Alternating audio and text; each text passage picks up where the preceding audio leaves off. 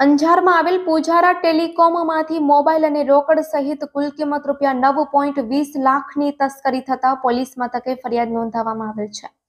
આ મામલે પરિંદભાઈ, રાજેશભાઈ અંજારિયા દ્વારા ફરિયાદ નોંધાવેલ છે. નોંધાવેલ ફરિયાદ અનુસાર ગત તારીખ વીસ નવેમ્બરના રાતના અરસામાં તેઓ દુકાન બંધ કરીને ગયા હતા અને ત્યારબાદ ગત દિવસે તારીખ એકવીસ નવેમ્બરના સવારના અરસામાં દુકાનમાં જોતા તો અલગ અલગ કંપનીના મોબાઈલ તેમજ દુકાનમાં રાખેલ રોકડ રૂપિયા ચોવીસ હજાર હાજર મળ્યા ન હતા. સૂત્રો દ્વારા મળેલ માહિતી મુજબ આ દુકાનમાંથી કોઈ અજાણ્યા ઈસમો રોકડ તેમજ મોબાઈલ સહિત કુલ કિંમત રૂપિયા નવ લાખ વીસ હજાર નવસો છત્રીસની તસ્કરી કરી પલાયન થઈ ગયા હતા. પોલીસે આ મામલે ફરિયાદ દાખલ કરી આગળની વધુ તપાસ હાથ ધરી છે.